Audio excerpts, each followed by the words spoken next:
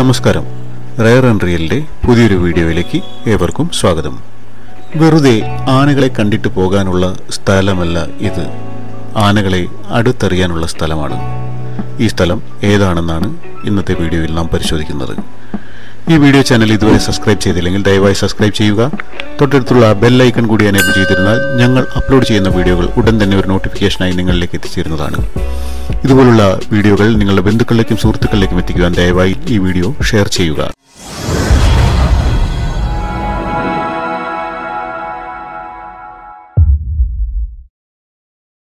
കർണാടകയിലെ കൂർഗ് ജില്ലയിൽ കുശാൽ നഗറിൽ നിന്നും സിദ്ധാപുര റൂട്ടിൽ പതിനഞ്ച് കിലോമീറ്റർ പോകുമ്പോൾ കാവേരി നദിയിലെ ഒരു ദ്വീപാണ് ദുബാര. ഇവിടെയാണ് എലിഫന്റ് ക്യാമ്പ് സ്ഥിതി ചെയ്യുന്നത്.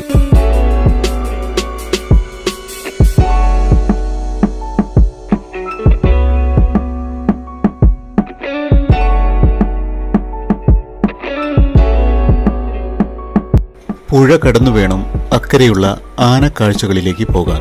കാവേരി നദിയിലൂടെ ബോട്ടിൽ യാത്ര ചെയ്തും വട്ടത്തോണിയിൽ യാത്ര ചെയ്തും നിങ്ങൾക്ക് ദുബാരയിൽ എത്തിച്ചേരാം വെള്ളം കുറവാണെങ്കിൽ പുഴയിൽ ഉയർന്നു കാണുന്ന പാറകൾക്ക് മുകളിലൂടെ നടന്ന് അക്കരയെത്താം അല്പം ശ്രമകരമാണെങ്കിലും സാഹസികത ഇഷ്ടപ്പെടുന്നവർക്ക് ഈ യാത്ര ഒഴിവാക്കാനാവില്ല. ഞങ്ങൾ അങ്ങോട്ട് പോകുമ്പോൾ കാവേരി നടന്നാണ് ക്രോസ് ചെയ്തത്. തിരിച്ചിങ്ങോട്ട് ബോട്ടിലും. നല്ല വഴുവഴുത്ത പാറക്കെട്ടുകൾ ചവിട്ടിയാണ് ഞങ്ങൾ കാവേരിയുടെ അക്കരെ എത്തിയത്.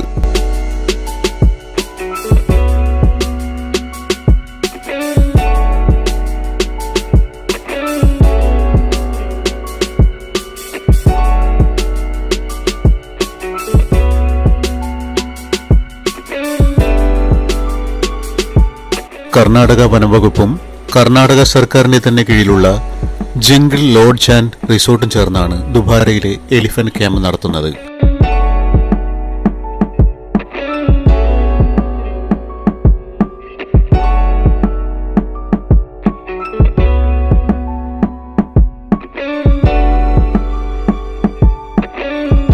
പ്രഗത്ഭരായ ആനപ്പാപ്പാന്മാരുടെ നേതൃത്വത്തിൽ പരിശീലനം നേടിയ ആനകളാണ് ഇവിടുത്തെ ഏറ്റവും പ്രധാനപ്പെട്ട ആകർഷണം.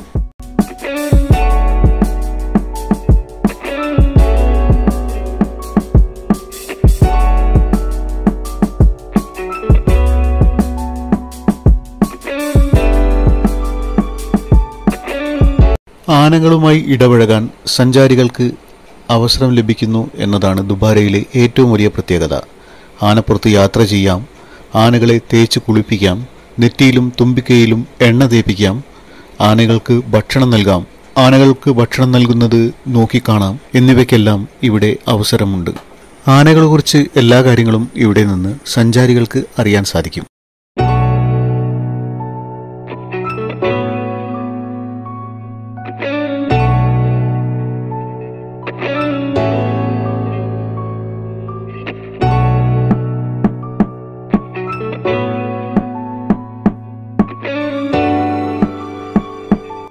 കേരളത്തിൽ കാണുന്നത് പോലെ ചങ്ങലയിട്ട ഇടം വലം തിരിയാൻ സമ്മതിക്കാതെ തോട്ടിയം പിടിച്ച് കൂടെ നിൽക്കുന്ന പാപ്പാന്മാരില്ല ഇവിടെ.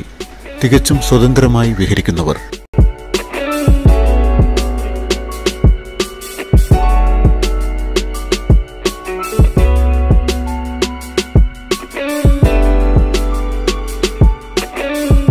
ഇവിടെ ഒരുക്കിയ ഈ ഏറുമാടത്തിലൂടെയാണ് സഞ്ചാരികൾ ആനപ്പുറത്ത് കയറുന്നത്.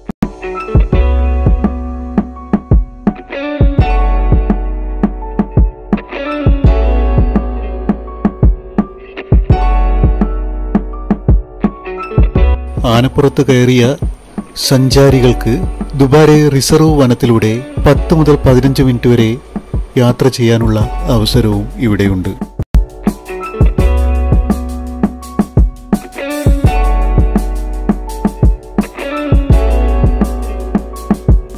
കൂർഗ് കാണാനെത്തുന്ന സഞ്ചാരികൾ ഈ ആനത്താവളം കാണാൻ ചുരുങ്ങിയത് ഒരു ദിവസത്തിന്റെ പകുതിയെങ്കിലും കണ്ടുവെക്കണം.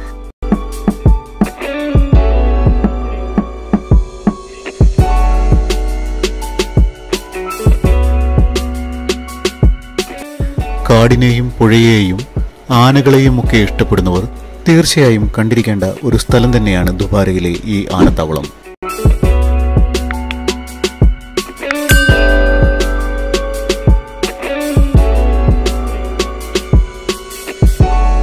ഈ ആനത്താവളത്തിൽ കുറേ നേരം ഞങ്ങൾ ചിലവഴിച്ചതിന് ശേഷം തിരിച്ച് ബോട്ടിലൂടെ കാവേരി കടന്ന് അക്കരയിലേക്ക്. ഈ ഒരു അറിവ് നിങ്ങളിലേക്ക് പങ്കുവെച്ചുകൊണ്ട് ഈ വീഡിയോ ഇവിടെ പൂർണമാകുന്നു ഇതുവരെ നിങ്ങൾ ഈ ചാനൽ സബ്സ്ക്രൈബ് ചെയ്തില്ലെങ്കിൽ ദയവായി സബ്സ്ക്രൈബ് ചെയ്യുക. തൊട്ടടുത്തുള്ള ബെല്ലൈക്കൺ കൂടി ഒന്ന് എനേബിൾ ചെയ്യുക. വീഡിയോ ബന്ധുക്കളിലേക്കും സുഹൃത്തുക്കളിലേക്കും എത്തിക്കുവാൻ ദയവായി ഷെയർ ചെയ്യുക. മറ്റൊരു വീഡിയോയുമായി വീണ്ടും കാണുന്നതുവരെ നന്ദി നമസ്കാരം.